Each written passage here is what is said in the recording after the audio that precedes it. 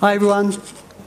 So, yeah, so talking about uh, developing benchmarks and workloads using Faban 1.0. Uh, my name's Amanda Waite. I work for Sun in the UK.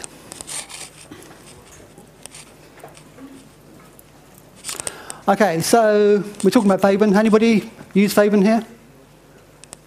Okay, all right. So I, that's what I assumed. I didn't expect many people would have used it. So we're going to kind of give you a beginner's 101 guide to it.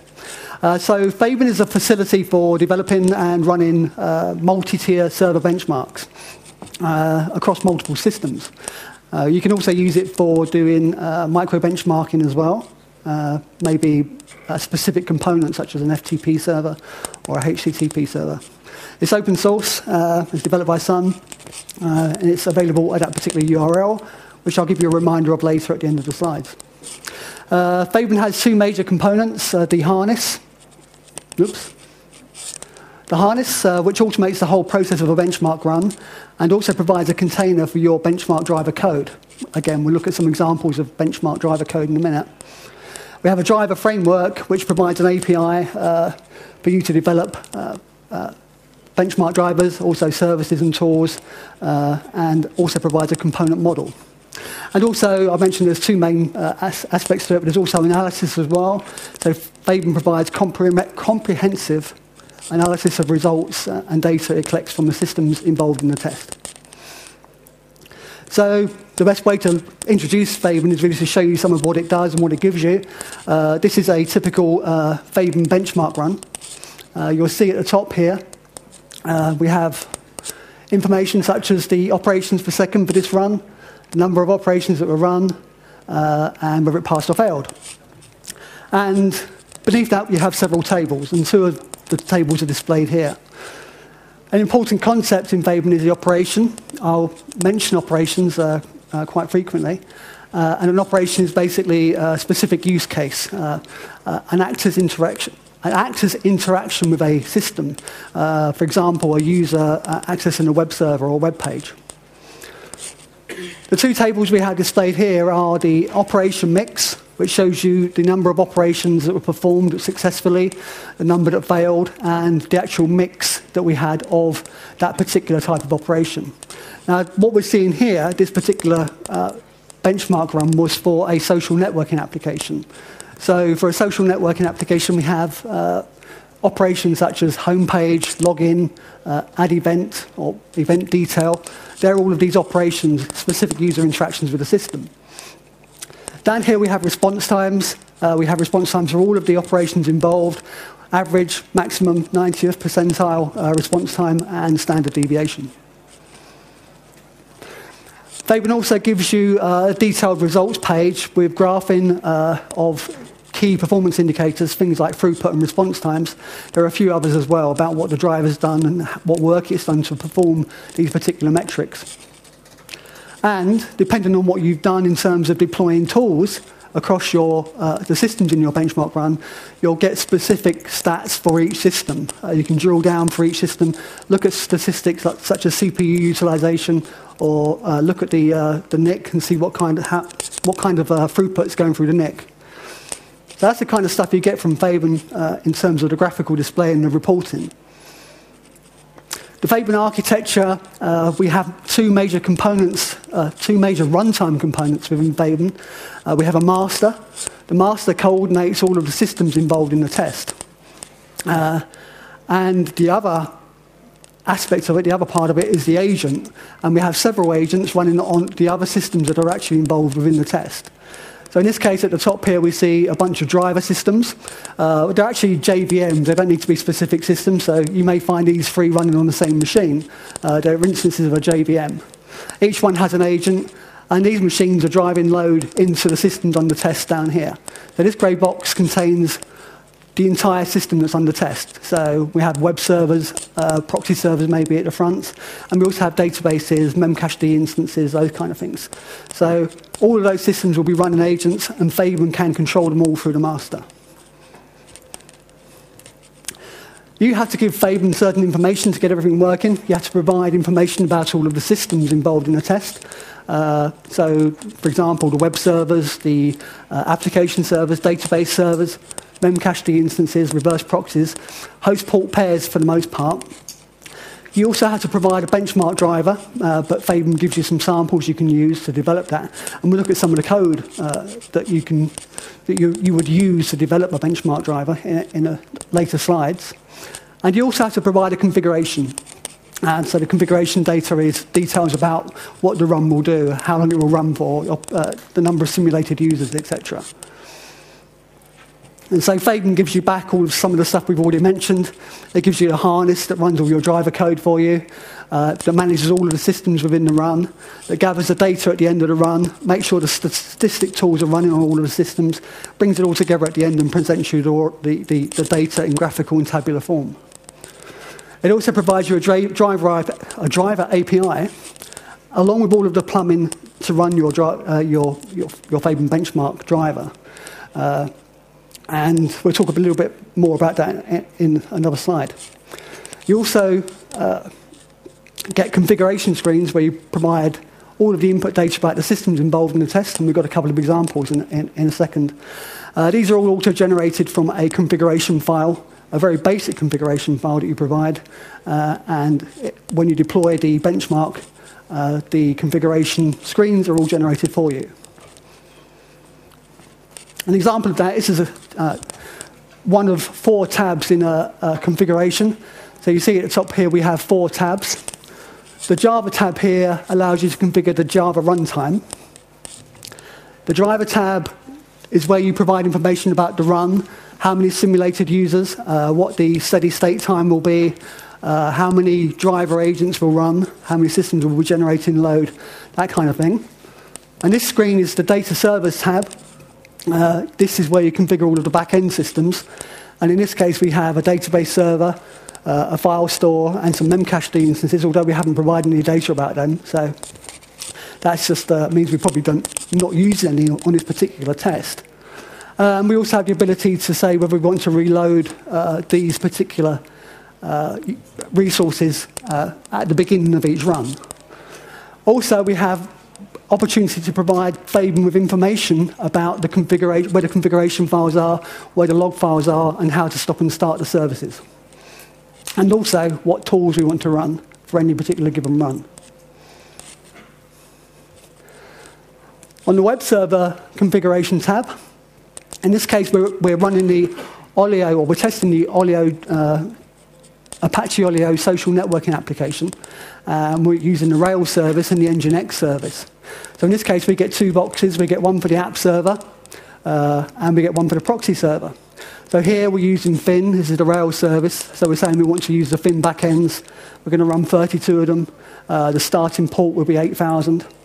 And here we're saying we want to use Nginx, and what the port is. Uh, and then we provide all this other information again about how to start and stop uh, those particular processes, and where to get the log files, where to get the configuration data and such like. And also, again, we can provide information about what tools we want to run.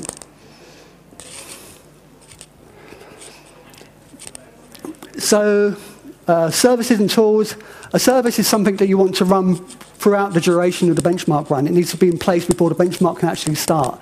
And that could be something like a MySQL instance, uh, initialized with a set of data that you provided. Uh, you generally don't start testing with a, a, raw database. You'll load the database up initially.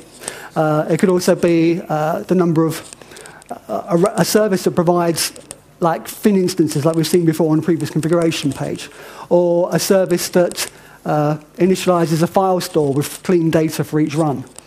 And it also provides a pluggable infrastructure for you to develop your own.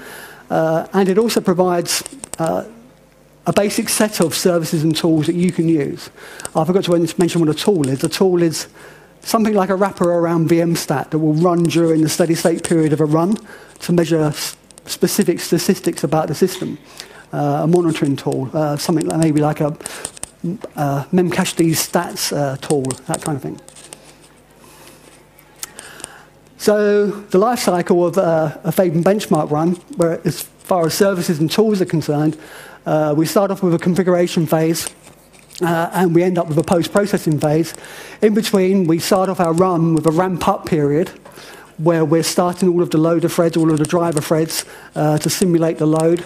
Uh, we're warming up caches and such like until we get to a point where we're in steady state. And this is the point where we want to actually do the measurements. We actually want to test uh, or, or measure the performance, the response times and the throughputs during steady state. So what happens with a tool, well, a tool starts only in steady state, which you don't really want to measure the system while it's not in steady state. So you wait to this point here, and then you start all of the tools. So all of the tools will run until the actual steady state period ends with a ramp down here. Services have to be in place right from the beginning, so they start here and they end in the post-process phase. So looking at the Faban driver, uh, oh, I do apologise. We seem to have run out of screen. So a Faban, Faban driver is, sorry? A Faban driver is a, a Java class uh, that's used to drive load uh, to your systems under test. Uh, it's something you write. It's, uh, it uses Java annotations. It's basically a, a, a, plain old Java object, but annotated with Java annotations provided by the Faban API. Uh, API. Uh, it uses these annotations to define metadata and also define operations, which we talked about earlier. So an operation uh, is a, a specific interaction with the system. It may well be that in this case, you get a HTML page initially.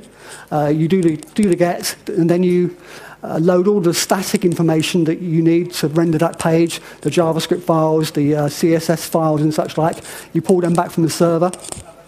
Then you scrape the HTML to find out what images are on the page, uh, and then you can load them from the server, or you can load them from local cache if you're simulating a cache. Uh, another example would be for a form, a form data uh, HTTP post request, uh, the response code may be a redirect, in which case uh, the, the operation may act on the redirect and redirect the user to another page, not effectively viewing the page, but the simulated user itself. And it also validates the success of the operation. So if the operation fails, it throws an exception, and Faban registers that as a failure. Down here, we have an operation mix. So you can't see this, and I think there's quite a bit underneath it but you'll see it on, on the sample code. But an operation mix is basically uh, the transition from one operation to another. So you, you, perform an operation, or a user would perform an operation, then he'll do something else on your system. So an operation mix defines how that happens. It could be a simple sequence, like do this, then do that, and then do that. You know, a, a, a sequence that's constantly repeated by every single user or it could be something more complicated. Uh, and that's where we talk, start talking about using uh, finite Markov chains to simulate randomness within the system. Uh, but you can do all of that and you get that uh, absolutely for nothing. It, it's a bit more complicated to program that, as you'll see on the next page. So this is a typical, uh, not necessarily typical, but this is a Faban driver class uh, annotated. At the bottom there, I don't know if you guys can see it, is the class itself, UI driver. And then we have a whole bunch of uh, metadata uh, annotations that we provide. The first two annotations are purely metadata. Uh, we won't need to go into those, but they're the ones you provide to the system. And then we provide a matrix mix. And we mentioned operation mixes before on the previous page. This could be something very simple. It could be just a very simple transition from one operation to another. Or you can use some real intelligence in it, and you can use a matrix mix. This takes two arguments. It takes an array of uh, operations, and it takes a mix, which is a matrix.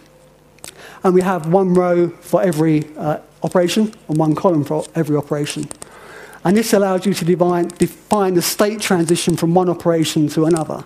And also uh, a weighting of what will, what will be the preferred operation to run at the next stage. You know, the next operation run, uh, maybe we've got a heavy weight here that after we've run the home page, we'll do an event detail. And also using this, you can actually prevent certain state transitions from happening. At the bottom, we have uh, this thing, a negative exponential, and we're using this thing called a cycle time. A cycle time is the space between one operation and the start of one operation and the start of the next. You can also define a think time, we're saying we want to run uh, with a cycle mean of 5,000 milliseconds with a 2% deviation.